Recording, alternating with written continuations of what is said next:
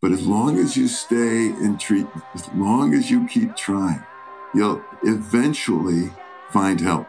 You'll eventually help yourself. Don't measure your success only by total abstinence. People forget, like when you cut back, you've done good. You've helped yourself, you've helped your loved ones. That's a step in the right direction. You know, give yourself those kudos as you go along so that you keep trying, so that you don't just walk away and give up. It's always worth finding somebody you can trust, both layperson and professional, so you stay stay in treatment. That's the bottom line for me. Stories are powerful, powerful. Welcome to the Rise, Recover, Live podcast brought to you by The Phoenix. This is a space where people impacted by substance use can come to share their story of strength and resilience, get open and honest, and inspire hope and build community through shared experience. We'll be talking to people in our community on their own recovery journey and shine a light on the topic of recovery in all its forms. Maybe you'll hear some of your story in theirs. Let's show the world that together we rise, recover, and live. Welcome back to the show. I am Bryce the Third, he, him pronouns. And I am Liz McKean, she, her pronouns. And why exactly are we here on the front end of this episode, Liz? we are here because I was so lonely in this episode interviewing this um, this wonderful person, Michael Fiori, without you. And I just wanted our listeners to be able to hear your voice before we hopped in to the episode, which I think you're going to really enjoy because I had a great time talking to Michael. But I just wanted to make sure that your voice was heard because you are just an incredibly important part of this podcast team.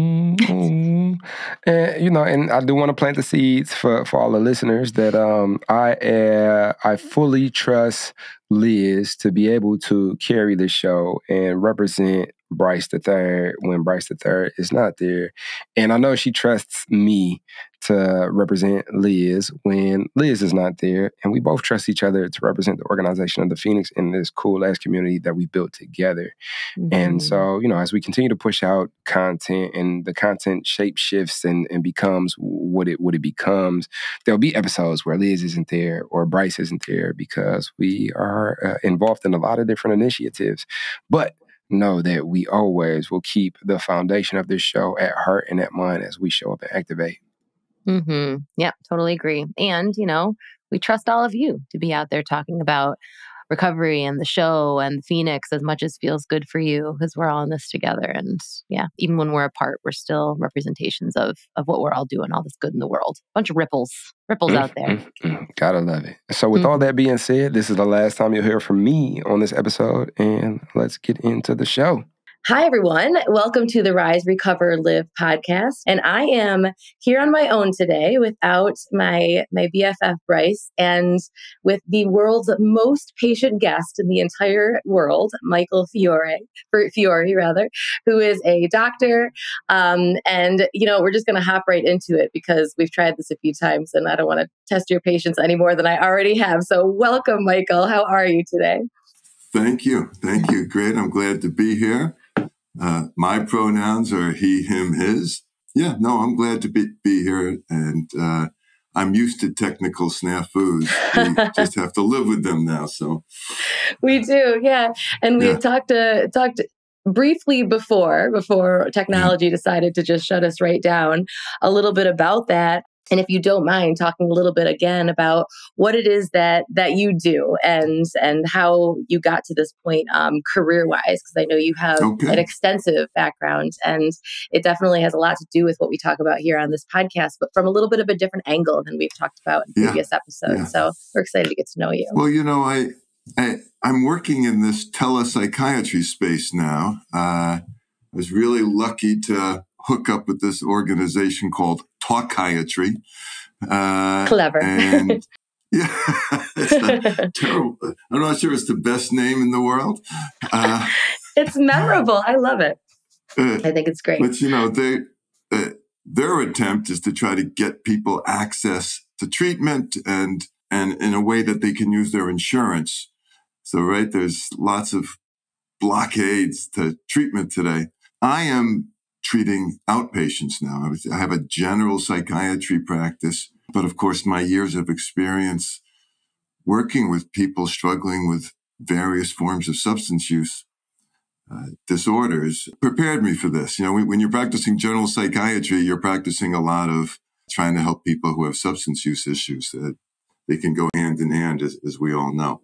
Yeah. I would imagine probably more than you even necessarily get to know about on the surface. I, I know that I personally just went for a lot of mental health support for years when my substance use was a major problem that I wasn't telling anybody about. Right. Is that something you come right. across? Oh, all the time. Mm-hmm. Uh, I hope that I can ask people questions as I take their initial history in a way that they understand this is a, which I guess you might call it a no judgment zone, you know, a non stigmatizing, no, no judgment way of asking questions that, so if you feel comfortable telling me and sooner or later people will tell you the truth, but it, I, they, people feel very truthful to me. I mean, I, I, I always believe people are telling the truth to begin with. It yeah. comes out later that I'm wrong. That's okay. Uh, but that's where I, that's where you start. Yeah. Well, uh, what else are you going to do? I feel like it would be really hard to do your job if you were coming at it from just an assumption that everyone was lying. Right. Right. Cynicism is not helpful in this line of work. Yeah. Uh, yeah. yeah. Yeah. Yeah. How do you avoid it after all these years of working with people? That's a good question. You know, for years I did the inpatient dual diagnosis work, detoxing people and trying to get start to evaluate their psych issues. I do think it's definitely a risk. The, the idea of burning out temporarily, the idea of people use the term of, you know, trauma a little bit almost too freely today. But when you're treating people who are suffering so and are in such vulnerable states, you have to be careful it's a balancing act. You, have to stay open and receptive, and yet it can be pretty hard hearing uh. You know, how do you how do you stay fresh? How do you stay uh, resilient and open? That's a real thing. That's true. For, I, th- I think probably for all doctors, but certainly if you work in the substance use space and you see what people are going through, and, uh, and they're, they're in their most vulnerable states, and uh, it's really important to take it for the providers to take yeah. care of themselves. You can get hurt, you can get numbed, and then you, you're, it's not good for the provider, it's not good for the patients. Yeah. Well, yeah, there's something to the whole, you know, put on your oxygen mask first because you're no good to yes. anybody if you're not taking care of you. Absolutely. Absolutely. And I think, yeah, and that's not always the that's not always what comes naturally. I think when you're in a helping profession, when you're just used to yeah, showing up for everybody totally. else. Yeah, that's that's right. How that's is that? Right. How has that changed for you? I mean, because you've been practicing for how many years now? Uh, I became a physician in 1981. I was an intern. Wow. Uh, so when you yeah, were just a yeah. child. I was just a child. I was too young to oh have that responsibility. Yeah, yeah. You know, if you, if you go right through you know, college to medical school, you come out, you're young.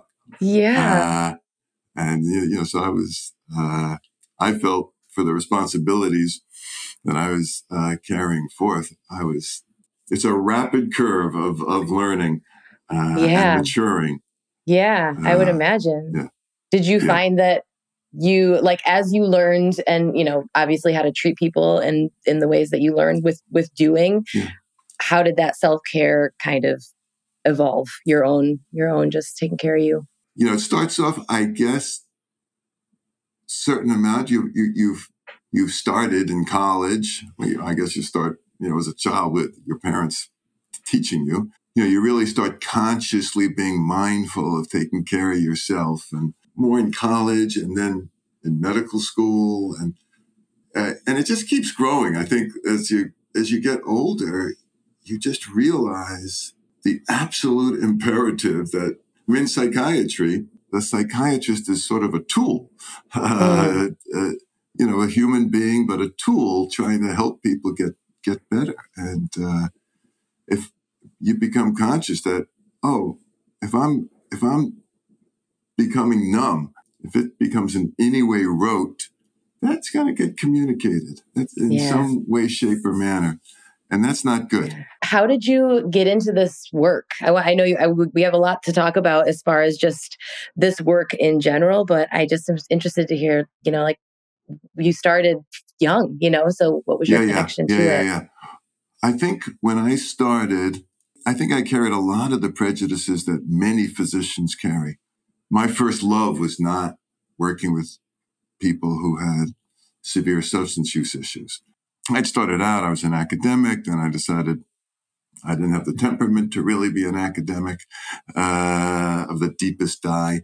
Uh, so I, I, stayed within the world of academics, but really became a clinician. And then I was doing private work, you know, with a large practice of, uh, we, we had a lot of psychiatrists. And then when I came back to Brown uh, in, in, in Providence, I had the opportunity to cover a fellow who was running the dual the dual diagnosis unit in, and I was amazed at uh, how revitalizing it was and how fascinating I found it. And that was like in 2000, yeah. uh, which is a long time ago now. Uh, isn't that weird? Right before, yeah, isn't that something? yeah. And the only way I know that is because I was, you know, on the unit seeing a patient when my head social worker came in to tell me that the towers were collapsing. Oh my gosh! Uh, in, in, New York, so that's how I know I started in 2000. It was right yeah. before. Whew. Anyway, from then on, it changed my calling. It changed the emphasis. It changed my and I. So that began a growth into learning and understanding about uh, substance use disorders and their interaction with uh, psychiatric disorders all within the same person. Uh, yeah. And uh, so, and then that became my love. That's so yeah. interesting, man. So you've been in this field through, I mean, some of the hardest things. Like I'm just, I'm thinking of people who I know who can clock back their, you know, when their substance use got bad, like around the times of some of those landmarks. Like we've talked about, you know, you being in New York during um, COVID and being in New York um, for 9 11. And like, I mean, that is did do you from the clinical side did you see like the surge of people needing support after those events as much as oh those of us needing support uh, felt it you know i at the time that uh, for for 9-11 i was in providence rhode island so i was a little bit separated from it. On a very personal level i was profoundly affected. I i lost a loved one there my my brother. Oh, and, so sorry. uh, but i have lived through a lot of things. I didn't even realize the connections. I mean, when i started out as a young doctor it was the beginning of the aids crisis we, mm. we didn't even call it AIDS at that time. And, you know, drugs became a real part of that. They were, they were part of the problem. You know, if you fast forward to 2020, when COVID hit, the demand for services, and already psychiatrists and therapists, there are not enough of us anywhere near enough to meet the, the needs. And well, things went up by well over 30% with COVID. You know, I was joking about myself having to come into work all the time. And, but I began to realize that it was affecting different segments of the population in different ways. Yeah. Uh, and younger people took a much bigger hit than uh, middle aged and older. But then the elderly took a tremendous hit as they got completely isolated. Uh, so different, it, it affected different segments of the population differently. But bottom line, this, the demands for psychiatric and substance use services skyrocketed. Yeah. Gosh. I can't, yeah, man. I, you know, it's so interesting to look back because you just see it through your own lens, you know, your own kind mm-hmm. of like life timeline and how it affected you. And you, as in that position, you certainly saw it through a lot of people's lenses. And yeah. Speaking of a lot of lenses, yeah. Um, yeah. just to rewind back to you know you were there when when the AIDS crisis started happening, and I know that's when a lot of conversations I think around the this like the first time that really harm harm reduction became part of yeah. the conversation. What was that like to be around for those conversations, to be treating people during that time for both substance use and and folks that were just scared? Yeah, well, I think that we were scared too, meaning meaning the physicians. Mm-hmm. Uh, and uh, the first patient I had, again, we didn't call it AIDS, but there's you know, I'm working him up and working. I couldn't understand why he kept getting fevers and getting weak. And uh, I was a psychiatrist. He was on my unit because he had gotten psychotic. You know, the the, the virus goes oh, to the wow. brain back, but before we had medicines. Now it it doesn't as easily go to the brain because our treatments are effective. But mm. so I'm doing blood uh, draws, blood cultures, spinal tap. So I was a, I was an intern. I had the nervous habit back then of biting my cuticles uh, on my fingers. And we didn't wear gloves back then, or I didn't. Uh, it was a different era. Yeah. And uh, so the blood would get onto my into my cuticles, and where I, you know, didn't, I didn't think anything of it.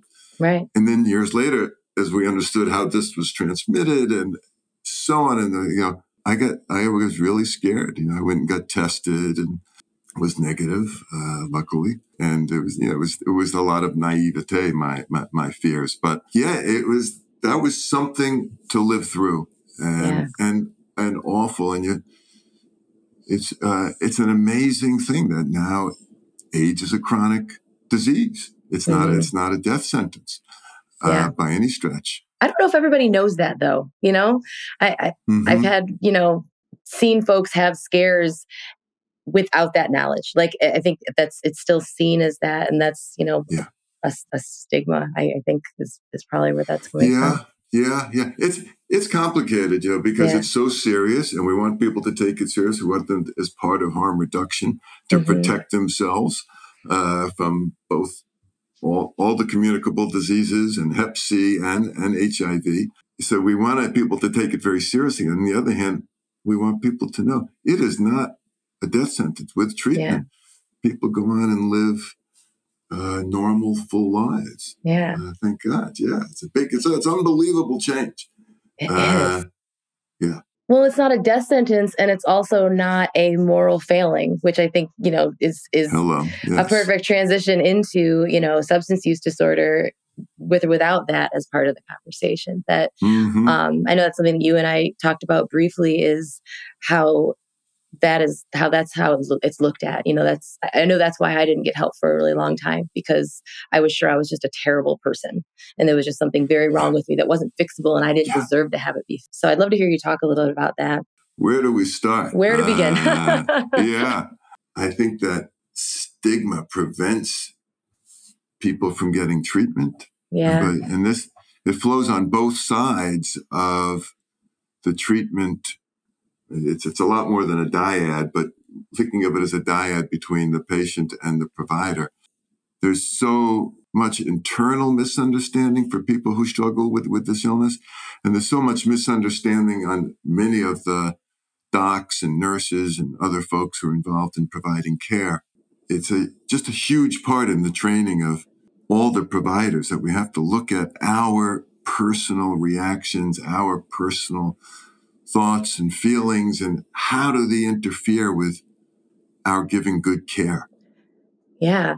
The most basic thing. I know, uh, but it, it is. It's so I'm excited that you're a person who works with um, people who you know are having who, have experienced a substance use disorder because most people I think that that work with folks like like me have experienced mm-hmm. the thing that I have, and that's a beautiful thing because that is um, you know that that shared experience is, has so much value, but it also kind of sections us off. I think, and yeah. I feel like it is it's something that can be cared for on by anybody yeah because yeah you know it's it's not it's not a moral failing. It's not something unfixable. I think you yeah. you had mentioned like the disease model being like a helpful framing for the way you've talked yeah. about that before. How does that how, how would you define uh, that so that's that's an interesting thing. By the way if we just go back for one second to the uh, stigma and how physicians and therapists and nurses how uh, when we're not at our best in our thoughts and our regard uh, for people who who have substance use disorders, you know, patients feel it. and oh, yeah. they they they feel it, and they're in an incredibly vulnerable position. They they're very sensitive to being uh, looked down upon or mm-hmm. insulted by the. So, what this is a, a plug for more people to come into providing care for people with substance use disorders, and that is is it, the patients are so grateful. Uh, it's so rewarding to the provider.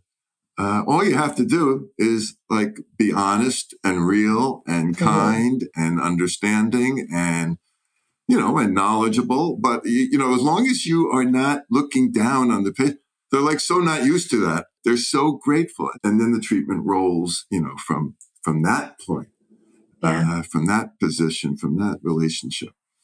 Uh, yeah. Anyway, just that's just a plug for more people to come into the field. I love, yeah, no, thank you for saying that. It's so yeah. true. It's because I, you know, and and honestly, like I think for for the outsider, they might not always know how much the person who's experiencing that is already coming down hard on themselves. Like we're the harshest judges of ourselves. Like we, yeah. man, especially when you get to that place of desperation where you're reaching out and asking for help when you're being honest like yeah. there's, yeah, that comes with so much fear and vulnerability yeah. and self judgment. And um, yeah, so to have someone look at you, someone, you know, that you respect, who's, who's a doctor who, who potentially could help to look at you and see a human is, yeah, um, yeah, there's not even words for what a gift that is. You, you mentioned the idea of the medical model or the disease model or the using the analogy to medical illness as a model for just beginning to wrap your arms around substance use disorders.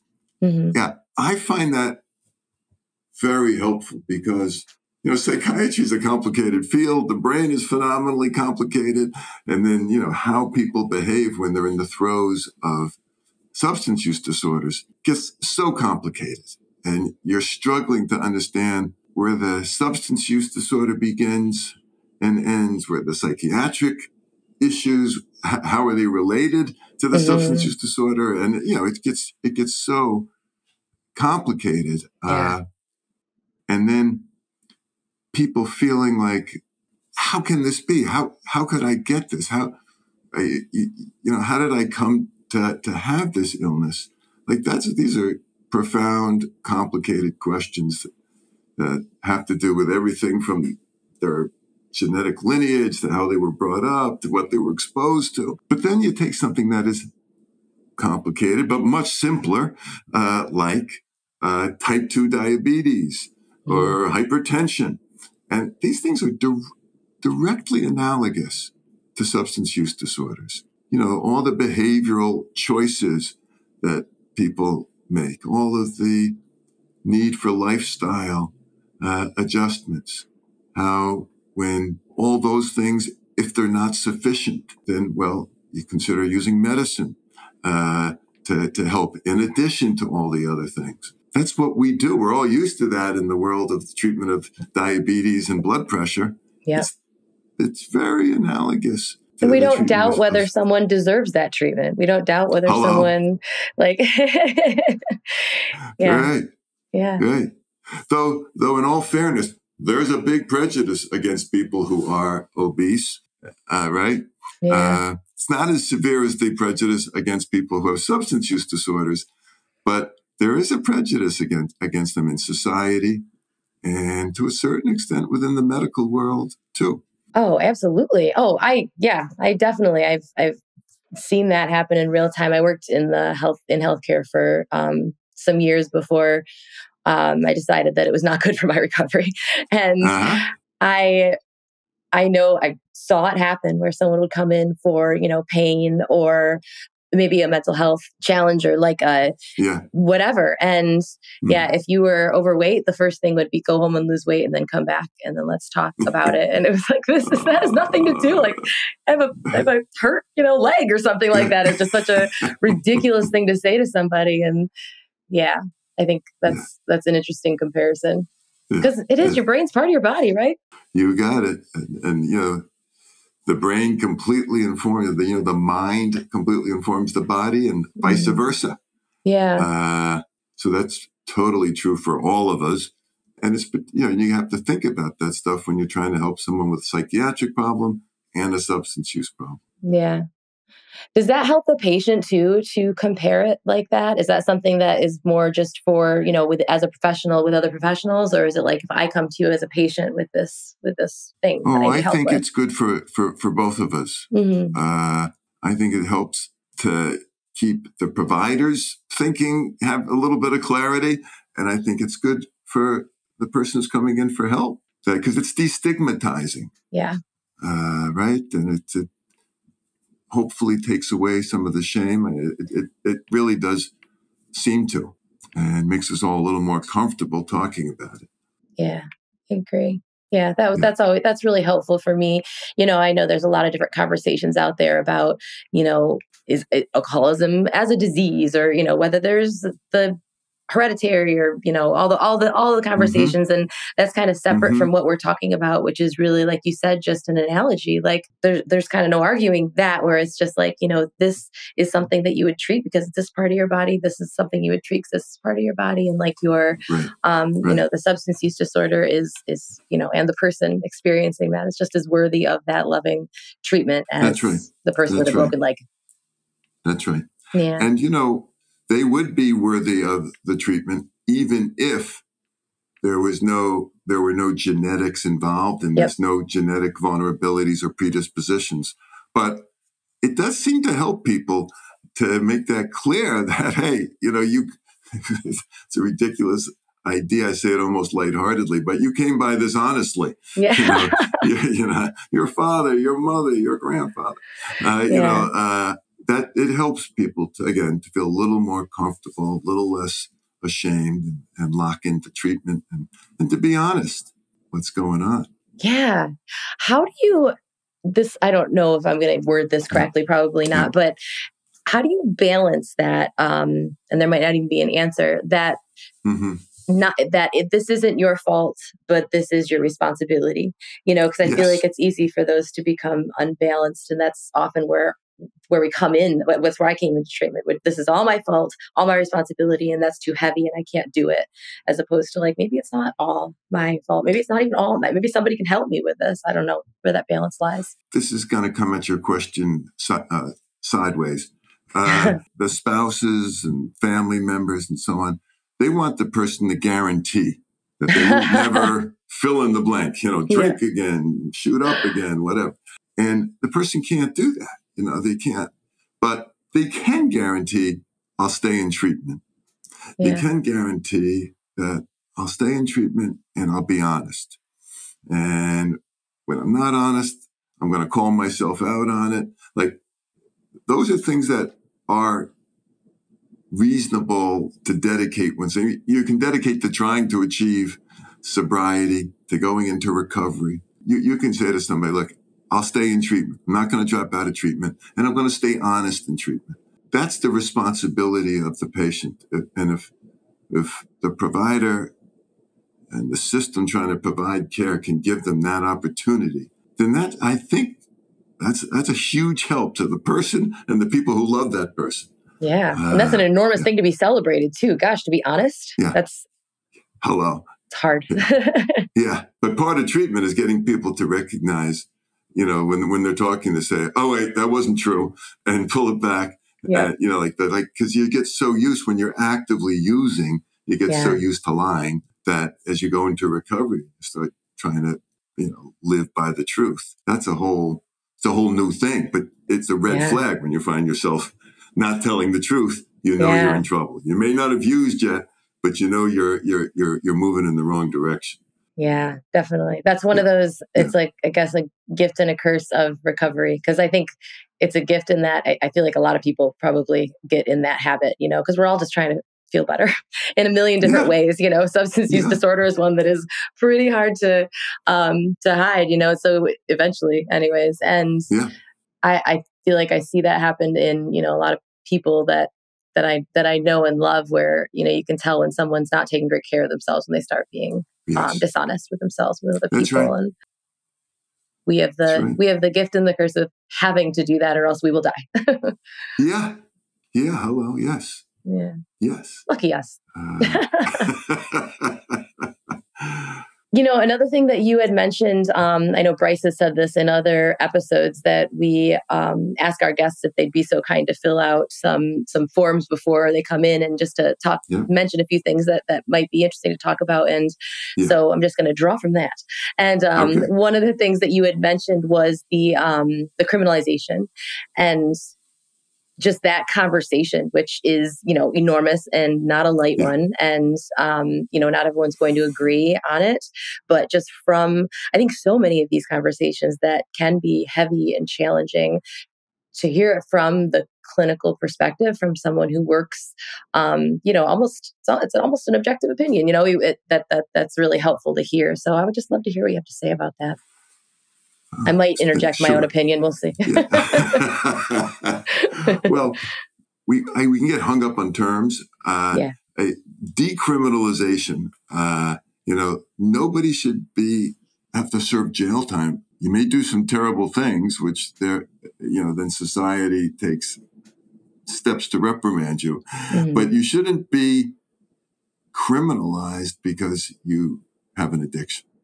Uh, and I mean that for hard drugs as well as everything else.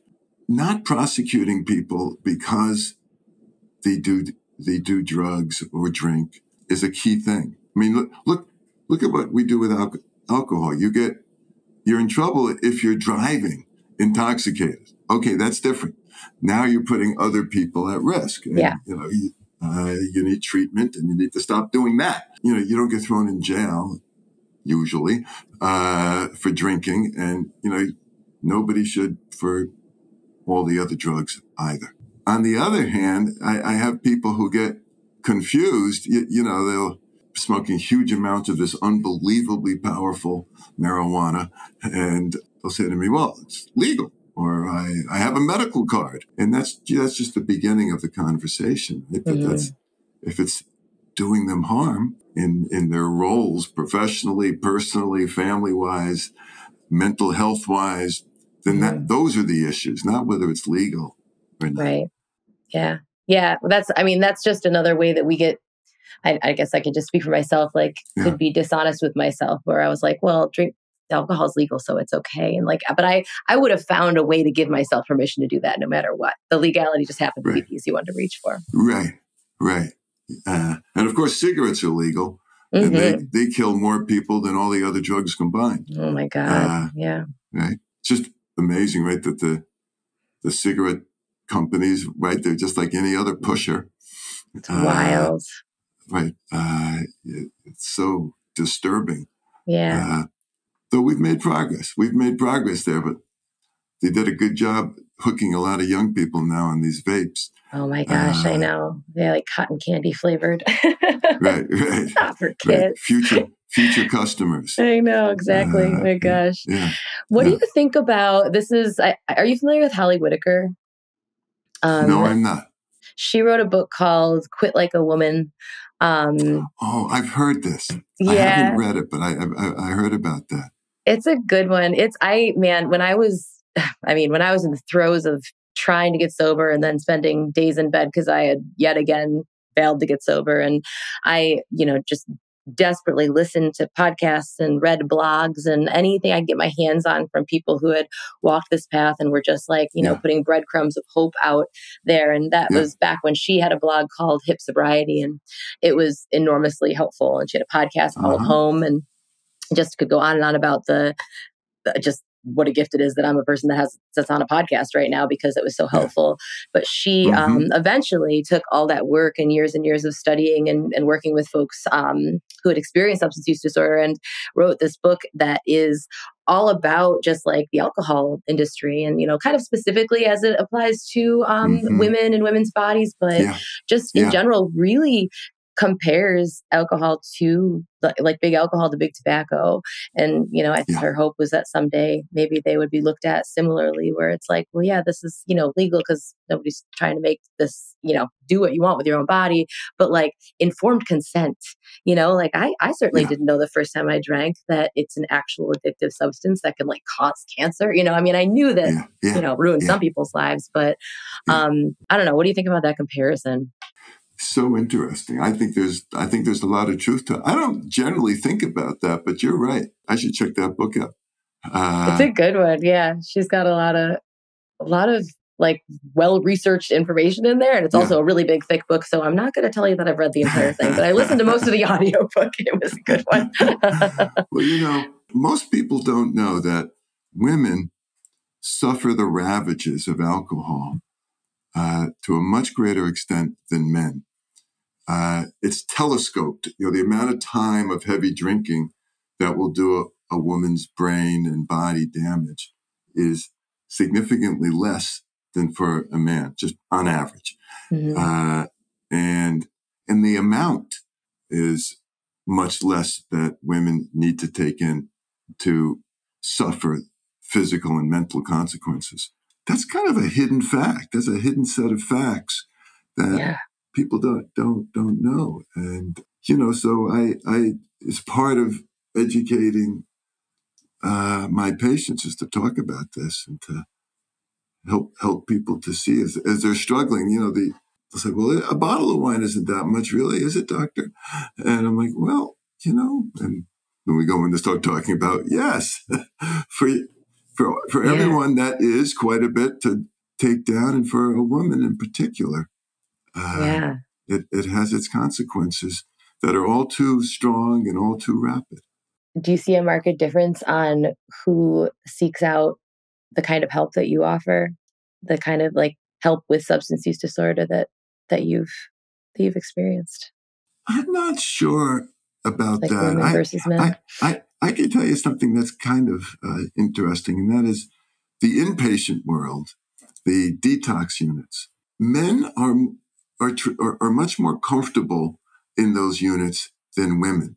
I, I really started taking that to heart and really trying to understand that in the last years that I was working on those units. The last place I was at was McLean Hospital in, in Boston. You know, the men, they, they were comfortable, but I mean, if you asked their satisfaction with treatment, they were very satisfied. They thought it was great. And you asked women, it was much less. And I was, and I, we really had to start asking ourselves, why is that? Like, what are we doing wrong? Partially, you know, the men come in, they ask for help a lot more. The units are, you know, can be male dominated as far as the numbers.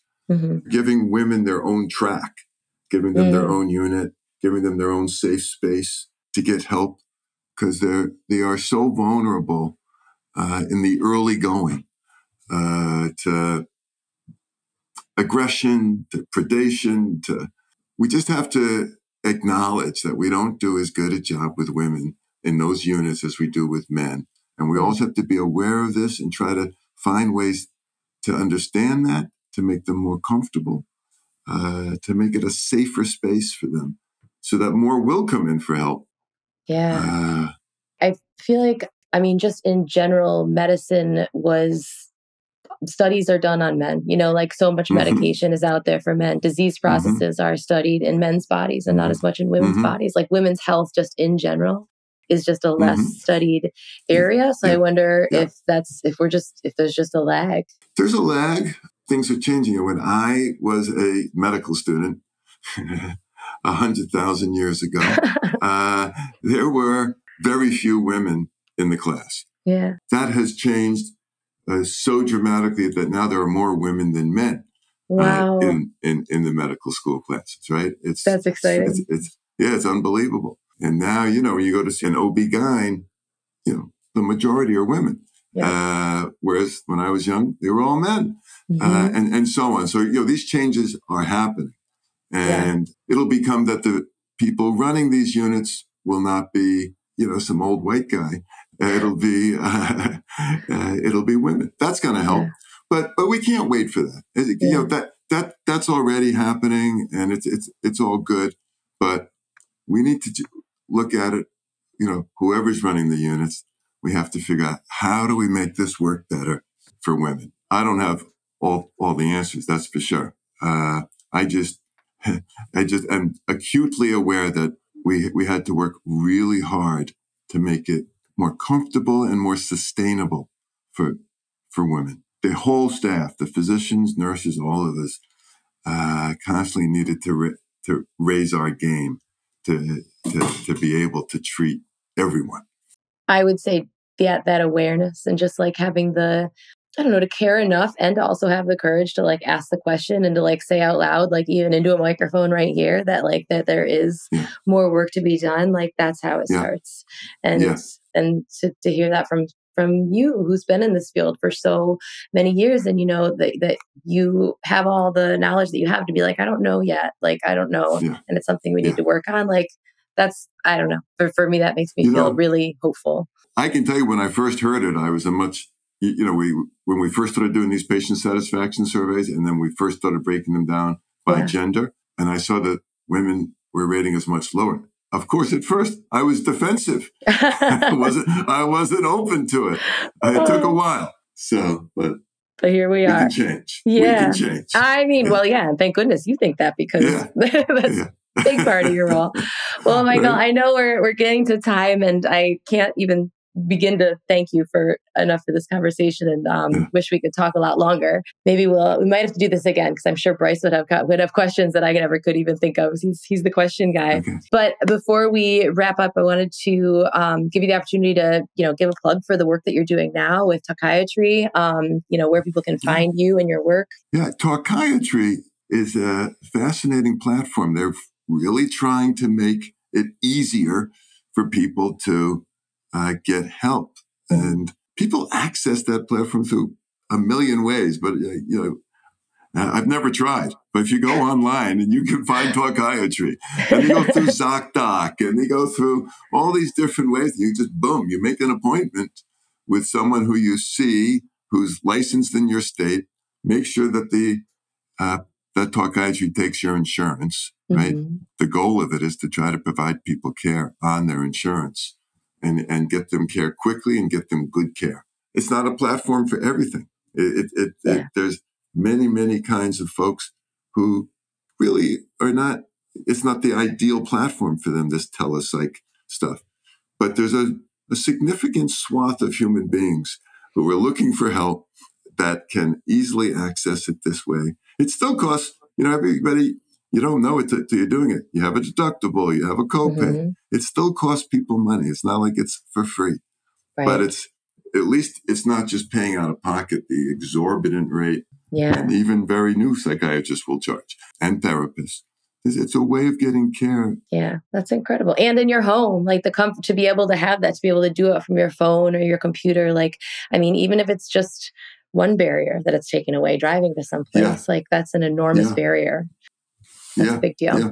I I'll tell you, I I, I find it uh, very rewarding, and I think the patients are finding it very helpful. It's cool. It's cool. I, I'm loving it. Well, we'll be sure to link um, Talkiatry in the show notes. You know, we always ask uh, this one question at the end of all of our Yeah. episodes, and this has been a different kind of episode because it wasn't a um, recovery story that we that we so often hear. But I would love to ask you this Mhm. question, anyways. Yeah. If you could pull back the veil of time and Yeah. send a message, just some words that you know now that maybe you back in time might benefit from, what might Mhm. those words be?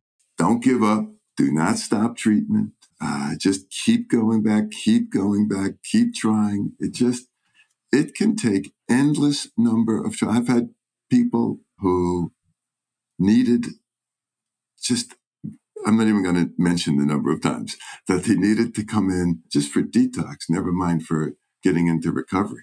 Those of us who are addicted to cigarettes, like how many times does it take you to quit? You know, it's just endless, endless, and then you relapse, and then you quit, and you re- and it just goes on and on. And uh, but as long as you stay in treatment, as long as you keep trying, you'll eventually find help.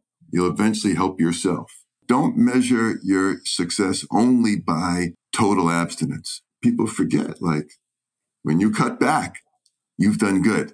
You've helped yourself. You've helped your loved ones. That's a step in the right Yeah. direction. You know, give yourself those kudos as you go along so that you keep trying, so that you don't just walk away and give up. It's always worth finding somebody you can trust, both layperson and professional. So you stay, stay in treatment. That's the bottom line for, for, for me. Yeah, I love that. Just keep at it. keep at yeah. it. Yeah, there's it's not yeah. linear. no, Lord knows. Linear. Yeah, no, definitely not. Yeah. Well, I know a lot of folks listening are going to really benefit from that. And um, yeah, and thank you again so much for taking the time to be here and for the work that you do in this field. It's so needed and yeah. just really grateful. Thank you. Thank you. It's my pleasure. And uh, anytime. Appreciate it so much. And for everyone listening, thank you so much for joining us. Um, Bryce will be back next week. We'll, we'll have the the the I was just going to say the gruesome twosome, but that's kind of a weird way to call us. Let's not do that. Um, we'll be back together once again. And in the meantime, please be sure that you subscribe if you haven't already. Um, if you could rate, review us, that is such a big help to um, have more people find the show who might need it. If uh, you found value in this show and you'd like to send it to someone, that's always a really um, big help. And also just a gift. Anytime somebody sends me a podcast and tells me that, that it's something they think I would enjoy listening to, it makes me feel really good. So please do that. Be sure you download the Phoenix app and join us on the podcast group there. Let us know what you think. And yeah, keep taking care of you, and we'll see you next time. So now you're excited. Bryce, Liz, how do I get involved with the Phoenix? Well, my friend, it is super simple. We actually have an app. Head over to the Google Play Store or the Apple App Store, or look in the show notes of this podcast, wherever you're listening to or watching this podcast, and go download the Phoenix app. The Phoenix app makes it so easy to find classes that are near you or to access our virtual class schedule where you can hop on from the comfort of your home. You can also join our groups and have a conversation with someone from the Phoenix community from anywhere in the world. Please make sure that you join the podcast group where you can connect with Bryce and I and other listeners. Everything that you need is in the show notes. You can also head to our website at www.thephoenix.org. And maybe while you're there, you click the volunteer tab and get even more involved.